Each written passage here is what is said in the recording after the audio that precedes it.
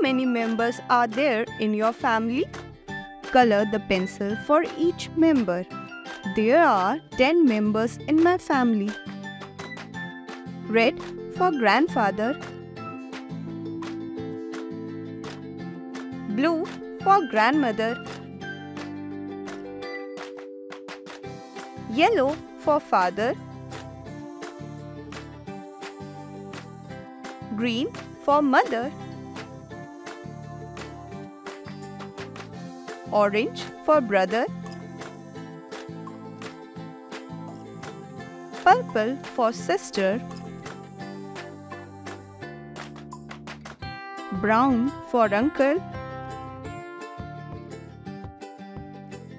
Pink for auntie. Black for cousin brother.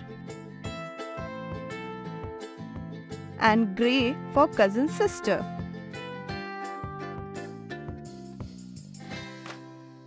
If you enjoyed the video, please like and share it with your friends. Do not forget to click the bell icon to subscribe for more such fun learning videos.